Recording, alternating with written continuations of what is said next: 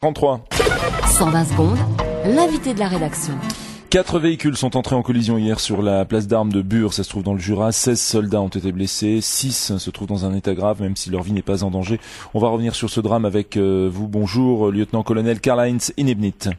Bonjour, monsieur. Vous êtes le suppléant, je crois, du commandant de la place d'armes à Bure, hein, c'est ça Oui, le commandant, c'est le colonel EMG Ober Hensley. Il vous salue bien depuis son chalet à Surkolm, dans Graubünden. Il est en week-end prolongé. Vous dire qu'il est, il est pas rentré pour euh, gérer cet accident, donc Non, il a préféré Euh, ce week-end prolongé, c'était prévu depuis plusieurs semaines sur le Picasso par le service de planification de l'adjudant Breitmann. C'est quand même un accident grave qui s'est produit. Oui, euh. oui, mais vous savez, on a l'habitude. Hein? Bon. Mhm. Vous nous rappelez d'abord ce qui s'est passé, les circonstances de cet accident? Oui, alors les quatre chars Piranha se déplaçaient sur une route de la Waffenplatz Bure.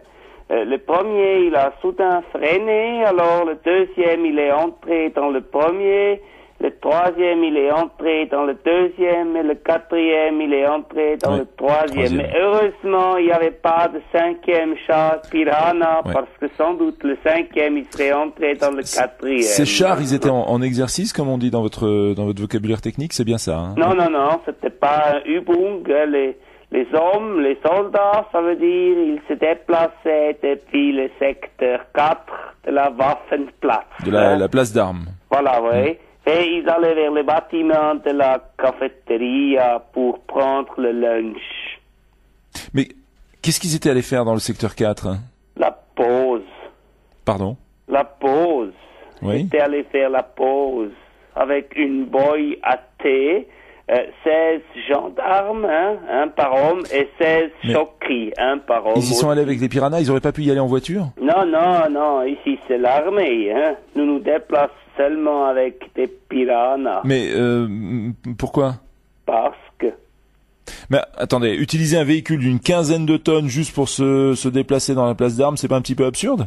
C'est l'armée. Bon.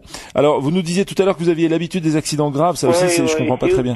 Surtout, Oui. Avec les chars Piranha. Hein. En, en, en 2008, il y a eu deux chars Piranha qui sont entrés en collision. Il y a eu six blessés. Et puis en 2007, il y a eu huit blessés aussi à cause d'un char Piranha. Par ailleurs, monsieur Inebnit, il y a quand même cinq hélicoptères de la Réga qui ont été mobilisés, une dizaine d'ambulances euh, du, du canton du Jura. Vous pouvez nous dire combien va coûter cet incident? Oh non, je peux pas vous dire, mais ça c'est égal. Ah bon? Oui, c'est l'armée. Alors parlons des chars Piranha qui coûtent très cher. Ils sont presque jamais utilisés hors des places d'armes en tout cas.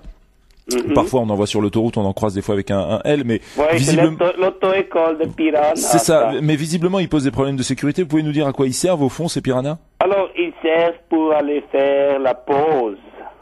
Oui. Si par exemple il pleut de l'eau depuis le ciel, hein, vous pouvez vous mettre à l'abri dedans le char Piranha pour manger Oui. le choquis ou le gendarme euh, au sec avec le thé. D'accord, mais attends, en cas de...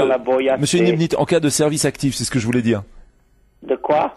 De, de, de comment on appelle ça de service actif c'est pas comme ça que de, de service réel Euh, si, si vous êtes en guerre